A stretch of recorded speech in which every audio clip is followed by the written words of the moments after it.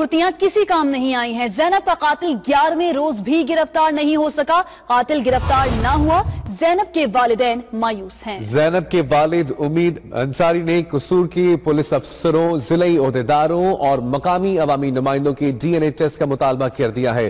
امید انصاری کہتے ہیں کہ ہمارے رشتہ داروں اور محلے داروں کی ڈی این اے ہی کیوں کیے جا رہے ہیں؟ ملزم پکڑنا ہے تو سب کے ڈی این اے کیے جائیں۔ اہم خبر اس کے حوالے سے ہم آپ کو اپڈیٹ کر رہے ہیں۔ آپ کو آگاہ کریں آپ کو بتائیں کہ یہ بالکل امید انصاری صاحب ٹھیک کہہ رہے ہیں کہ غیر متعلقہ لوگوں کے ڈی این اے ٹیسٹ ہو رہے ہیں۔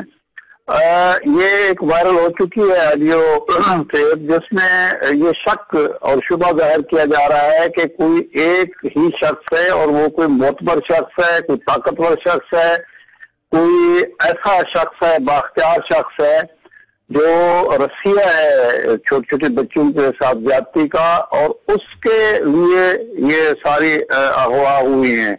کیونکہ سات یا آٹھ ڈی این اے ایک ہی شخص، ایک ہی نوعیت کے ہیں، تو